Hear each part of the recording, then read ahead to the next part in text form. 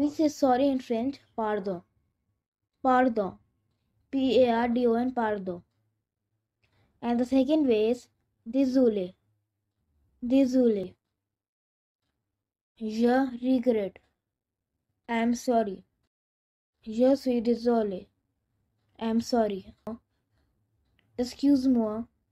Excuse me. C'est ma faute. It is my fault. Au revoir. À bientôt.